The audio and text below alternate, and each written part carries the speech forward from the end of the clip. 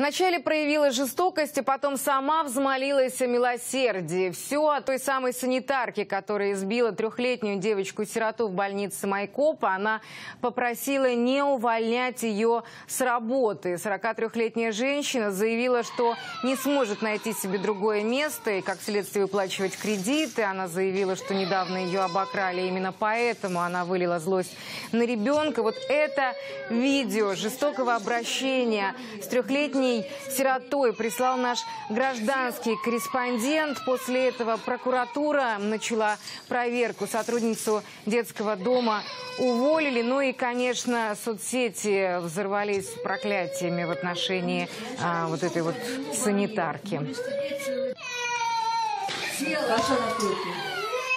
Пошла капельницу